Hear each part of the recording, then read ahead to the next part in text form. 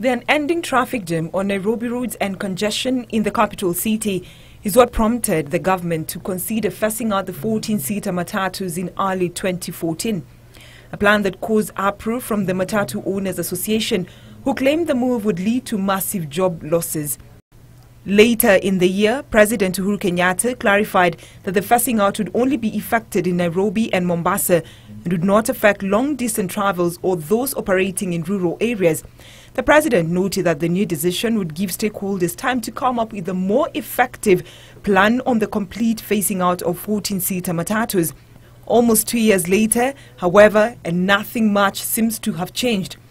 Traffic jams and congestion in the capital city is still the norm and the county government of Nairobi is still in running battles with Matatu owners over the matter.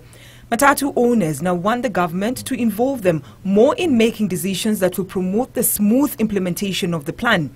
Would ask the government to partner with uh, General Motors and other big capacity enhancing uh, companies, other stakeholders so that we smoothly move from lower capacity to higher capacity buses.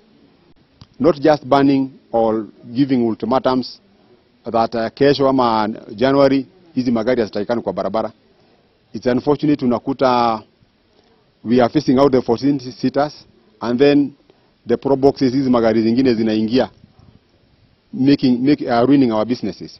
They've also decried what they term as frequent threats and harassment from the government as far as bringing order into the Matatu industry is concerned.